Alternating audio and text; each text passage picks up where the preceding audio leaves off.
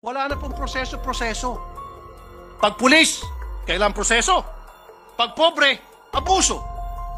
Pag pulis, kailangan lumampas sa kung anong klaseng sistema na proseso. Pag pobre, kalagkad sa presinto, bugbugin, at kung ano-ano pang pwedeng may kaso sa kanya. Ito ang nakakagulat. Viral at trending ngayon sa mundo ng social media ang umano'y sagutan ni Senator Rapi Tulfo at Senator Ronald Bato de la Rosa. Sa Senate Committee hearing ng 19 Congress, tila naging mainit ang nangyaring debate sa pagitan ng dalawang senador. Ito'y patungkol sa mga policemen na umaabuso sa kanilang mga kapangyarihan at ginagamit ito para lumapas tangan sa karapatan ng ating mga mahihirap na kababayan. Para sa iba pang mga detalye, alamin at panoorin ang part 1 ng bidyong ito. Unang-una, I would like to associate myself to the revelations uh, made by uh, the good gentleman from uh, Davao Oriental and uh, Isabela. Totoo po yun, may mga pangyayaring uh, pang-aabuso na ginagawa yung ating kapulisan and uh, this should not be tolerated. Dapat talaga maaksyonan ito at uh, nagpapasalamat tayo sa ating uh, kulig dito na tinatanggap niya yung mga reklamo galing sa ating mga kawawang mga kababayan. But, uh, uh, Mr. President, gusto ko lang po matanong uh, yung ating uh, distinguished uh, gentleman from uh, Davao Oriental kung uh, yung mga nag-complain ba ay uh, nakapag-file na ng kaso uh, against this uh, hearing uh, PNP personnel? Thank you, Your Honor. Ah, marami sa kanila hindi pa nakapag-file ng kaso at kami na po ang nag-initiate na mag-file ng kaso on their behalf. And meron po ilan sa kanila ang na-file ng kaso and then nalaman ko po na sila po inosente and dito po pumapasok yung aking pong ah, concern sa kanilang welfare at kaawa-awa sila. Kaya ako po gumagamit ng sarili kong pera para sila pagpiyansahan and then later on malaman-laman po ng ah, kapulisan ng kanilang mga supervisor nito mga pulis na guilty po yung kanilang mga tauhan ah, sa pang-abuso at pagpaplantang ebidensya, sinususpinde, and then later on, ah, napapawalang sala po yung pong ah, mga suspect na lumapit sa akin, kamag-anak ng mga suspect na lumapit sa akin. In some cases po, ah, na paparusahan po yung mga pulis na ng abuso. Your Honor. Maraming salamat po, uh, Your Honor, Mr. President.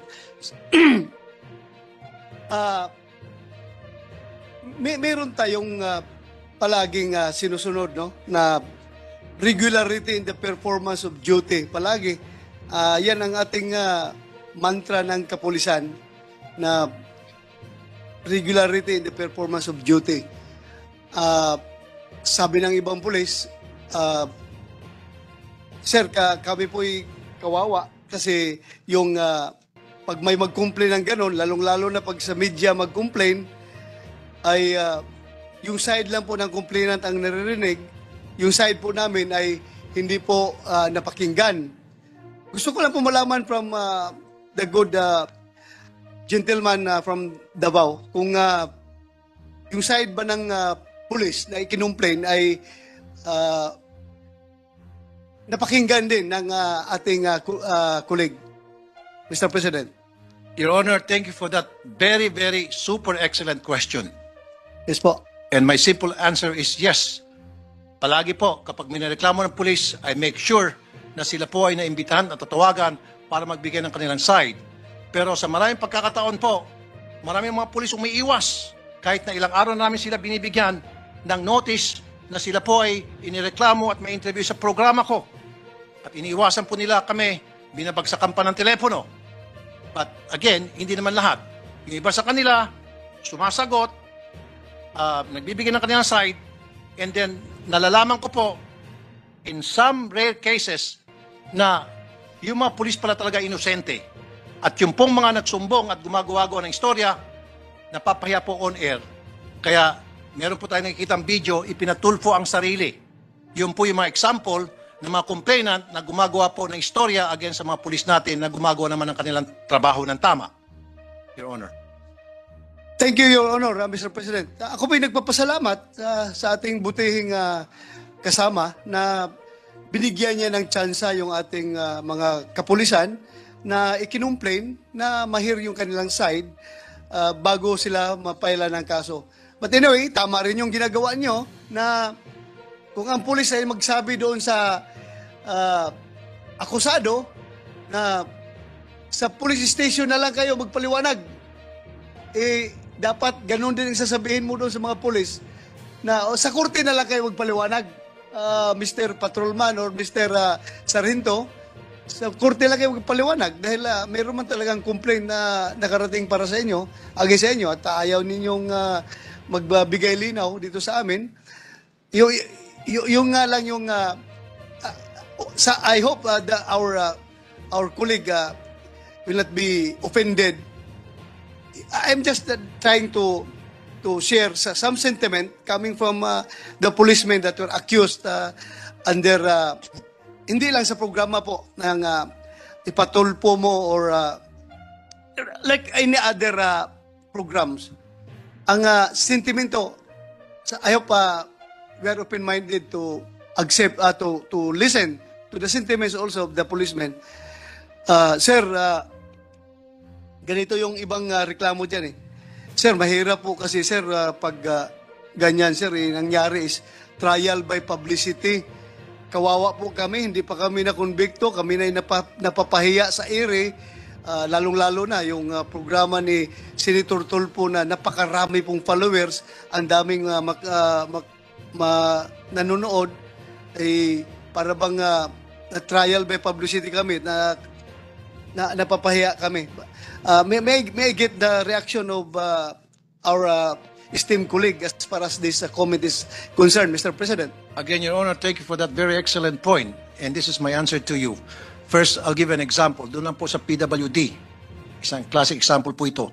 Na ni-raid ang bahay, walang warrant, naghalughog, may nakitang lumang cellphone, ito na yung ninakaw mo. Na kahit hindi naman. Ito po yung magic word palagi ng mga pulis. Pwede ba kitang imbitahan sa presinto at doon ka na magpaliwanag? Yun po, gas-gas na palaging ginagamit ng mga pulis para makaladkad nila sa presinto ang mga mahirap, nagkikahos, mga pobre nating kababayan na walang kalaban-laban. Sa mayaman, kaya nilang gawin yon. Subukan nila pumunta sa, taga, sa loob ng Forbes Park, sa loob ng Corinthian. Ready nila ng walang warrant. At pagkatapos sabi nila, can I invite presinto? Of course not. Hindi sasama yung mga taga-Corinthian, Park, dahil alam nilang karapatan nila at ang dami nilang mga abogado. In this case, ito mga pobre, thinking na talagang pag pumunta ng presinto, magkaroon ng pag- paglilinaw sa inakusa sa kanila. Once they get into that presinto, doon na po pinaplantahan silang ebidensya, tinatakot silang umamin, etc. etc. hanggang sa tuloy-tuloy po silang makulong. Hindi po nasunod ang proseso, nakulong sila. Now, Mr. sa, pang- sa pangalawang tanong niyo po, Your Honor, trial by publicity. The only way na parang isang mahirap na kababayan natin, pobre, nag-house, na maprotektahan ang kanyang karapatan, ay para pumunta po sa amin para expose po ang katiwalian ng mga pulis na gumagawa ng mali. Yung mga pulis na gumagawa ng kabutihan, alam po ng mga kapulisan na ako po'y patas at pinaparangalan ko po yung gumagawa ng mabuti. So we have to expose the corruption and other ills and wrongdoings of these bad eggs in the PNP. Kailangan po ma-expose, kailangan po mata- malaman ng taong bayan para they will be aware na there is such modus na ginagawa ng mga pulis para maisahan at maapi ang malilit nating kababayan. Number three, yung sa sinabi niyo po, Your Honor, na sa korte na lang magpaliwanag ang mga pulis. Of course, may point po kayo doon. Thank you. On the surface, tama po kayo. Pero kung pag-uusapan po natin versus sa malilit nating kababayan, wala na pong proseso-proseso. Pag pulis, kailangan proseso. Pag pobre, abuso. Pag pulis, kailangan dumampas sa kung anong klaseng sistema na proseso. Pag pobre, kaladkad sa presinto, bugbugin, at kung ano-ano pang pwedeng may kaso sa kanya na gawa-gawa. Marami na akong, Your Honor, na reklamo na yung pong mga kababayan natin ay pinagbintangan ng mga pulis, ginawa ng mga istorya. And, and pagpunta po nila sa akin, I found out na talagang totoo yung sumbong at nakulong na po yung pobre. So ano pong ginawa ko po, Your Honor? Using my own money. Ako po ay nagpiyansa. Ilan na po na piyansahan ko? More than a dozen. And then later on, malaman-laman po ng mismong supervisor ng mga pulis na yon na nanghuli sa pobreng suspect na palang nang abuso yung kanyang mga tao, kaya kanyang sinuspindi. And then later on, matapos kumpiyansahan yung mga pobre, napatunayan na talagang inosente sila na pawalang sala. Ang ginagawa ko po, umaaksyon ako para mapabilis po yung proseso kung ang kapakanan po at buhay ng mga pobre at kababayan ay at stake. I will do everything in my power to ensure their safety, to make sure na sila po ay hindi, hindi na malapastangan ang kanilang karapatan ng ganun-ganun na lamang, Your Honor. Thank you po, Your Honor, Mr. President, for that uh, very good answer. Um, alam niyo po, uh, I just would like to encourage our uh, colleague na sana we, we, we help each other in uh, informing the public pagdating dito sa sinasabi mong gas-gas na na tirada ng mga pulis na iniimbitahan po kayo sa presinto, meron po silang karapatan na umayaw na hindi sasama sa presinto. Ah, klaruhin po natin yan sa kanila kasi alam natin yung ating mga kababayang mahirap ay kulang talaga sa kaalaman at madaling matakot. Sana i-share natin sa kanila na pwede po kayo hindi sumama at ah, pwede po silang kasuhan ang pulis kapag ito'y nagpupumilit kung wala silang enough ah, reasonable grounds na kayo ay dadalhin sa presinto. Ah, I just would like to share, ah, Mr. President, nung aking eksperyensya, Ah, ako po ay kinasuhan ng arbitrary detention ng isang ah, ah, politician from ah, galing sa Cotabato. Ang nangyari po ay ganito. Nung nakita ko po na may ah, daladalang baril yung mga escort nila, eh, they are claiming na legal daw yung baril nila. Pero sabi ko, doon na lang po kayo magpaliwanag sa opisina. Do, imbitahan ko kayo sa opisina. Pagkatapos po niyo, Mr. President, ah nakasuhan ko sila ng ah, illegal possession of firearms. Pero ako ay kinasuhan rin ng arbitrary detention. Ah, kinausap ko yung piskal, bakit hindi na dismiss yung kaso ko from ah, doon sa piskalya. Sabi nila ng piskal is, the mere invitation is already construed as restraining the liberty or the movement, uh, the liberty of movement of this, uh, the particular uh, suspect. Kaya liable ka ng arbitrary detention. Detention na pala yun. Kahit hindi mo pa kinulong sa kulungan, hindi mo pa pinasok sa silda, the mere na nirestrain mo kanyang movement at dinala mo sa police station, that already constitute arbitrary detention. So sana po ma- ma-inform natin yung ating mga kababayan na pwede kayong hindi sumama sa polis wag kayo inibitahan. Ang pagsama lang naman is voluntaryo. Kung talagang ah, honest ka na wala kang ah, kasalanan, confident ka, then ah, you can go to the police station. Ang problema nga lang, kung ah, in most cases, sabi nga ng ating colleague, is ah, tataniman ka ng ah, ah, kasalanan doon sa police station. That's another story, Mr. President. Ayun lang po ang ah, aking ah, mga tanong para sa ating ah, colleague. Thank you, ah, Your Honor, ah, good gentleman from ah, Davao and ah, Isabela. And thank you, Mr. President. Your, Your Honor, meron ako may dagdag, uh, Your Honor. Um, isa sa mga dapat ituro sa ating mga pulis, yung bang dapat memorize nila yung Miranda rights. I've noticed marami sa kanila, I'm sorry for the word, bobo. Hindi nila memorize yung salitang, yung Miranda rights. Nagbabas, binabasa na nga, mali-mali pa. Kasi kung yan ay binabasa sa bawat suspect na anaresto, alam niya yung kanyang karapatan. You have the right to remain silent. Anything you say will be used against you in the court of law. You have the right to a lawyer. Yung mga ganon, hindi po ginagawa ng mga pulis kasi kung in Tagalog, sinabi sa suspect, ah, may karapatan pala akong you have the right to remain silent, pwede pala akong tumahimik. O nasa batas yan. Ah, pwede pala akong kumuha ng abogado. Eh, hindi po. Halos lahat po, 9 out of 10 arrests being made by our policemen, hindi po nababasahan ng Miranda rights yung mga suspect, Your Yeah. Honor.